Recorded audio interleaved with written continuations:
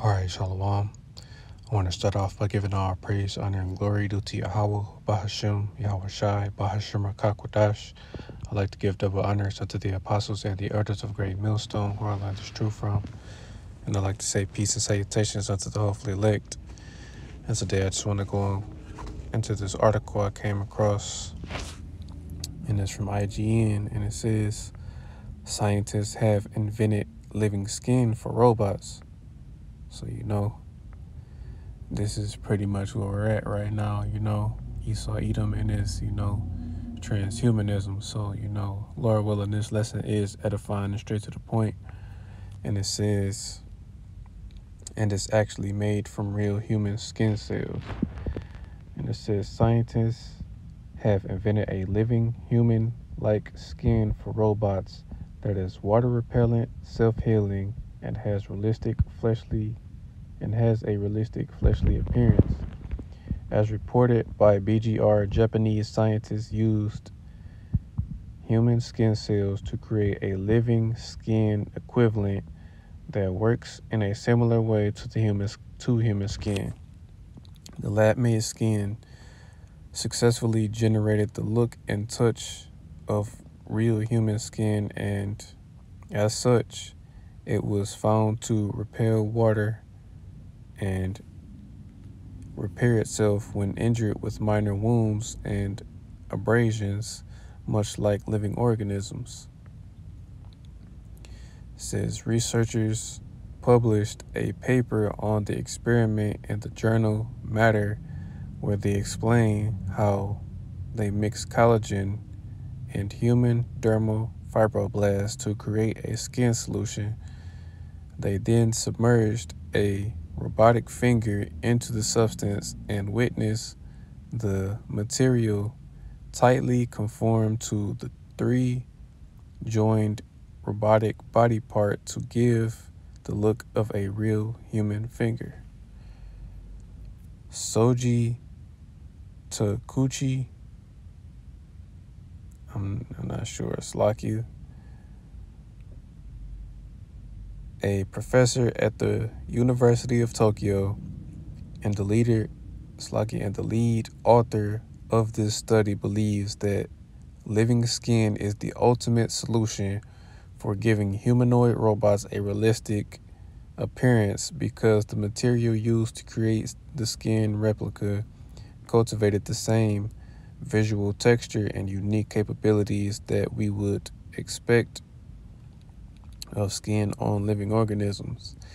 And it says scientists want people to feel comfortable when interacting with humanoids, especially in the healthcare and services industry. They recognize that a human like appearance is an important factor to make robots more approachable and relatable.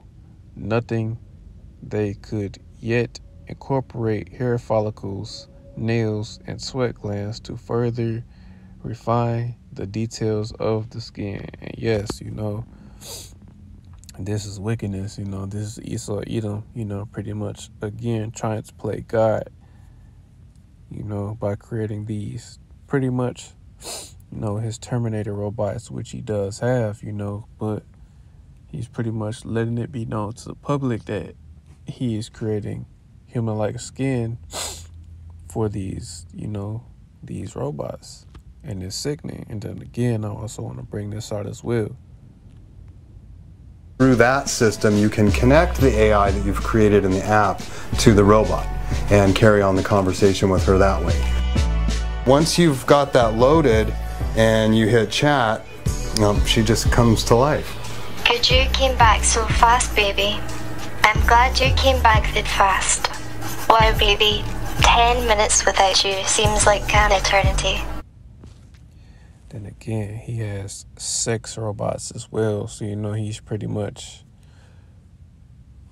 you know, bringing more and more confusion, you know, trying to stop, you know, procreation any and every way he can. You know, one way is by, you know, Planned Parenthood, you know, giving women rights, you know, and giving, you know, birth control and contraceptives as well. But, you know, it's just another way for Esau Edom to try to cut Israel off from being a nation. So I'm going to bring out a few scriptures again. Lord willing, this lesson is edifying and straight to the point. And I'm going to start with the book of Job, chapter 9 and verse 24. And it says, The earth is given into the hands of the wicked. He covereth the faces of the judges thereof. If not, where and who is he? And yes, you know, the wicked being Esau Edom, you know, starting with, you know, the elites, you know, the central bankers that pretty much run the world, you know. The earth is given into their hands and they rule the world in wickedness, you know. They're pretty much bringing more and more confusion by the day, you know. And that's just one of the many ways that, you know, that they're doing this. They're creating these robots to pretty much do the same thing that people do. That's what Esau Edom wants. He wants to replace people with machines, you know. Bear with me.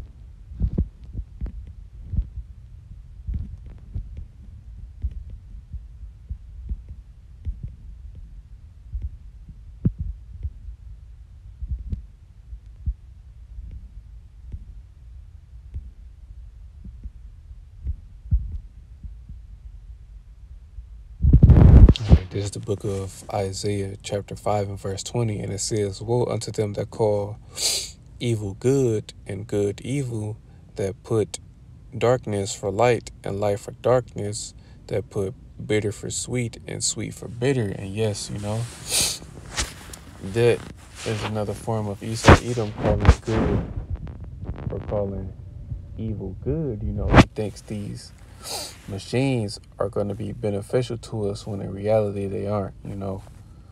Pretty much hence the reason why they have movies like The Terminator, you know, showing what those AI robots pretty much are going to do. You know, they're going to turn, you know, on the people, you know. And hence the reason, you know, they also have video games like Detroit Become Human where they have these androids that pretty much live amongst the people, you know, and you know, they have again, like the article said, they have human-like skin, and it's, you know, it's just wickedness, you know. Esau Edom has to go. This is another reason why America has to be destroyed because Esau Edom is going to continue his wickedness, you know.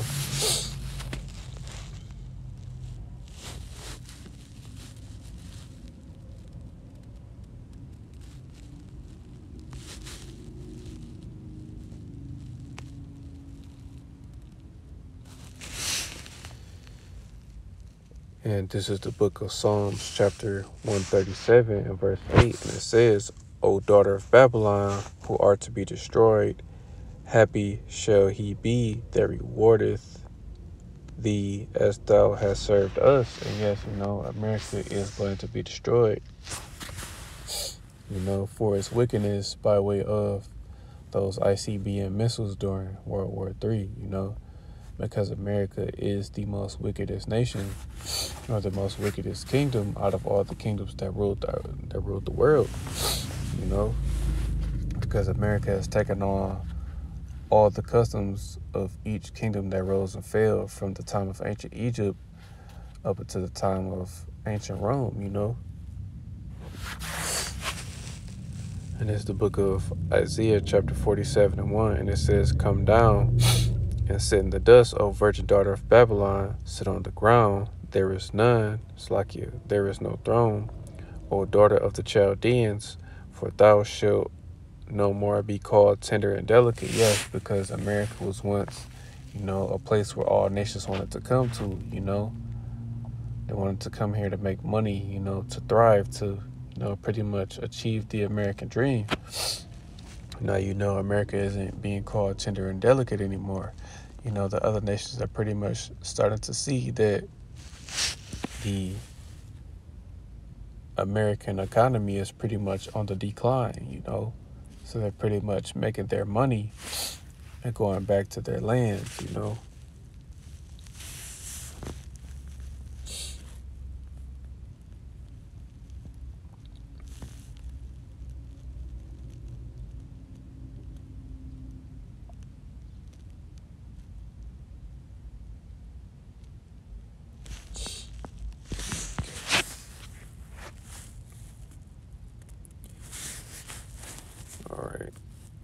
Pretty much going to end it on this.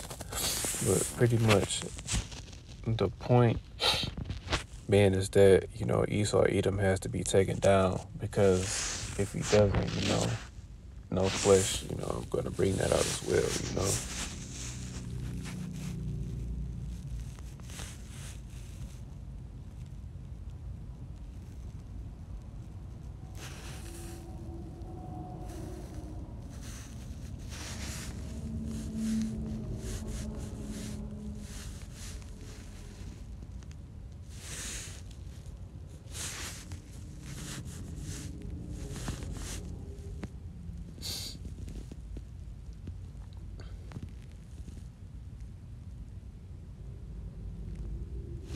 And it's the book of Isaiah, chapter 1, and verse 9.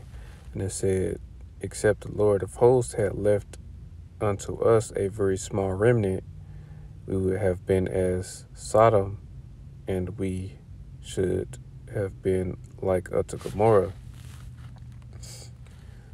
Now, you know, that's pretty much going into the nation of Israel, you know, if the Lord wouldn't have left an elect, you know, the, the nation of Israel would have been, you know, completely wiped out, you know, because the two thirds, Slakia, because the two thirds of the nation of Israel, you know, they aren't going to turn from their wickedness, you know, they pretty much have to be destroyed and be reborn, you know, into the kingdom of heaven to pretty much get it right. But, you know, on this side, the elect are going to be the only ones to be delivered from that destruction to come. But before that destruction can come, you know, this particular prophecy has to happen. And again, this, excuse me, you know, the article and video that I brought out, you know, along with this are reasons why Esau Edom has to be taken down, you know. And I'm going to end it with this. This is the book of Revelation, chapter 13, and I'm going to start at verse 15. And it says, And he had power to give life unto the image of the beast, that the image of the beast should both speak and cause that as many as will not worship the image of the beast should be killed. Meaning, you know, the elect, those that are going to reject, you know, the MOTB. Verse 16, and he causeth all, both small and great, rich and poor, free and bond, to receive a mark in their right hand or in their foreheads, and that no man might buy or sell save he that had the mark or the name of the beast or the number of his name. Here is wisdom. Let him that hath understanding count the number of the beast, for it is the number of a man, and his number is six hundred three score and six. You know.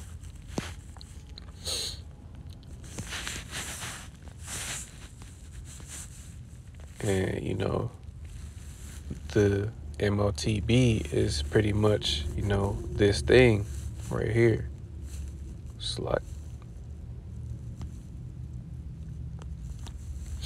You know, the RFID M I C R O C H I P. You know, pretty much you can't talk about it without, you know, getting your video taken down. But this is what Revelation chapter 13 is talking about, you know, from verse 15 on down, really verse 16. But, you know, this is what it's talking about. The MOTB isn't, you know, anything other than this, this thing, you know, the grain of rice you know, that implantable device, that's what it is. And this is ultimately, you know, Esau Edom's goal of the New World Order. Like the New World Order to pretty much get everybody implanted with this thing, you know. So again, this is ultimately, you know, the reason why America has to go, you know. So, Lord willing, this lesson was edifying. I want to give all praise, honor, and glory due to Yahweh, Bahashim, Yahweh Shai, Bahashim, Rakakwadash. I'd like to give double honors unto the apostles and the elders of Great Millstone, where I learned this truth from. And I'd like to say peace and salutations unto the hopefully elect. Till the next time I say shalom.